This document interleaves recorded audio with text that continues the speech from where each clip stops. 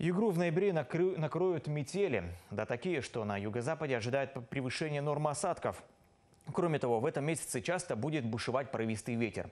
По данным учреждения Центроспас Югория, средняя температура в ноябре будет держаться на отметке минус 10 градусов. Что касается ледостава, то он наступает несколько позже многолетних показателей.